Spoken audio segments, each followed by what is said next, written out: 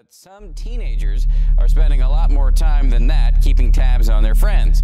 And now some of these Facebook junkies are trying to kick their addiction.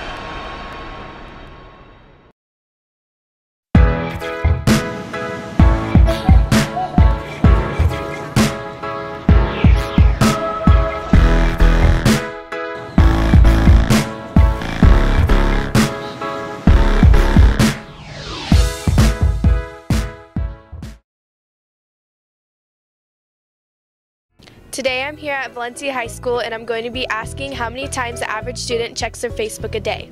10 times a day. Six and a half, like four times a day. Five times a day. Three times a day. Um, like 14 times a day. Um, seven. Eight.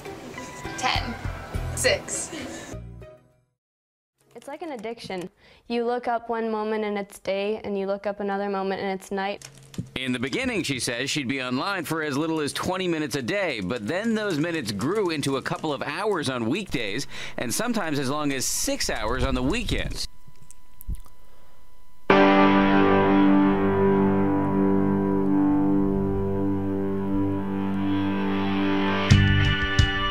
There was once a young man who attended Harvard University.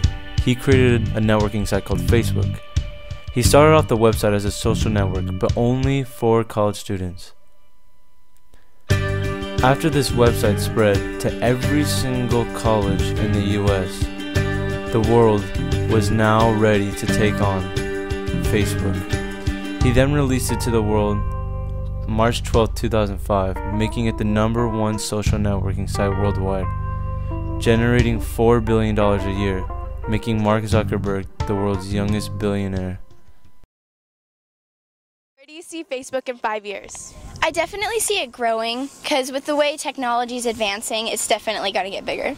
Um, I see it failing actually. Like I feel like Google Plus will take over. It's just going to be like another MySpace like phase and just, yeah. I could see that. I mean, I could see it going either way, just depending on, you know, how people feel about it and what new things are out.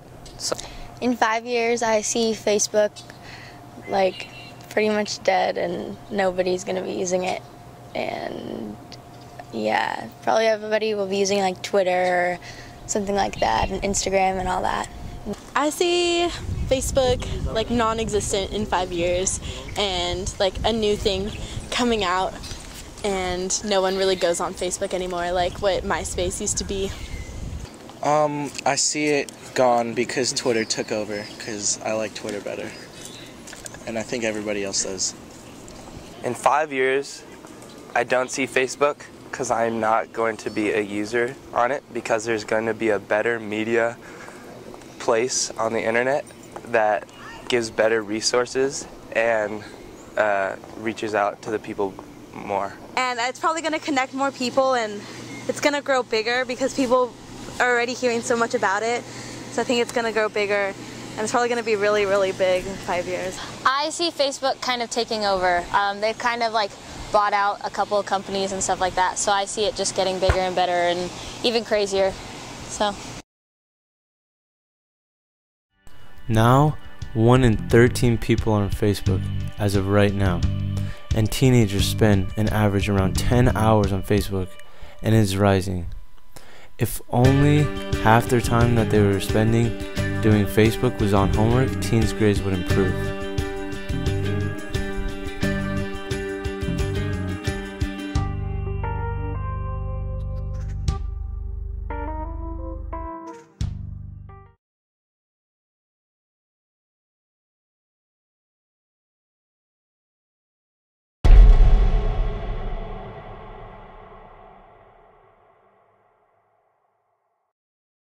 Do you believe Facebook has ruined any of your social skills? I think yes, because I think through technology, people are more confident and they would never say or do the things that they do in person that they do in Facebook, on Facebook. Um, I think it has ruined our social skills because we get so accustomed to talking like with shortened words and everything that we don't really communicate with one another anymore. It's Because it's a lot easier to talk to somebody through technology than it is in person. So you get accustomed to just talking to them over typing it and not just face to face. Um, no, I think I can still hold a conversation and be social. And then a lot of people like they kind of like they talk in a certain way online and then in person they just they talk differently. Um, I think Facebook in some ways has ruined social skills of people because you're not really talking face to face and it can cause drama, lots of it. No, I think talking to people on Facebook and on real life is easy. It's just the same. Oh, I personally think that Facebook has ruined social skills because you're sitting there frying your brain on the computer when you could be doing something a lot more productive. So, Facebook isn't my forte.